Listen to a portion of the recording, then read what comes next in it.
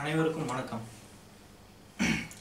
ஆயக்கலை அறுபத்தி நாலில் மிக முக்கியமான யோகக்கலையை பற்றிய விழிப்புணர்வு காண்டி இந்த காணொளி காட்சியை நாங்கள் பண்ணியிருக்கிறோம். யோகம் யோகக்கலை. இது வந்து கிமு இரண்டாம் நூற்றாண்டுக்கு முன்னாடியில் இருந்தே வழக்கமாக நம்ம திராவிட இனமான தமிழ் இனத்துக்கு உரிய ஒரு உகந்த கலையாகும். இதை வந்து பதி பதினெட்டு சித்தர்கள் வந்து தன்னோட பதிவேட்டில் இது பதிவு பண்ணியிருக்காங்க. இப்போ வந்து இந்த கலைகள் வந்து அழிஞ்சிட்டு வருது. ஐயா திருமூலர் ஐயா திருமந்திரத்தில் சொல்ல சொல்லியிருப்பாங்க உடம்பால் அழியின் உயிரால் அறிவர் திறன்பட மெய்ஞானம் தேடவும் மாட்டார். உடம்பை வளர்க்கும் உபாயம் அறிந்து உடம்பை வளர்த்தேன் உயிரை வளர்த்தேனே அப்படின்னு சொல்லியிருப்பாங்க.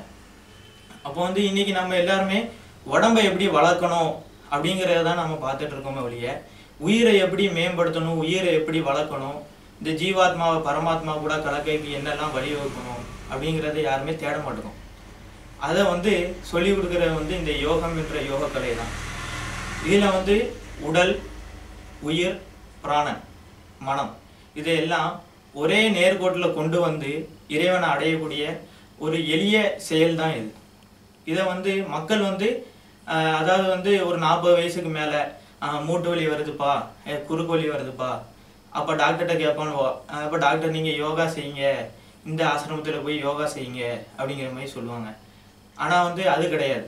நம்ம வந்து அஞ்சுலேருந்தே நம்ம பிள்ளைகளுக்கு வளர்ச்சி இந்த யோக கலையை வந்து கற்றுக் கொடுக்கணுங்கிறதுக்காண்டி தான் நாங்கள் வந்து இந்த விழிப்புணர்வுக்காண்டி இதை வந்து நாங்கள் செய்கிறோம் இதை அதிகமாக பகிர்ந்து உதவி பண்ணுங்க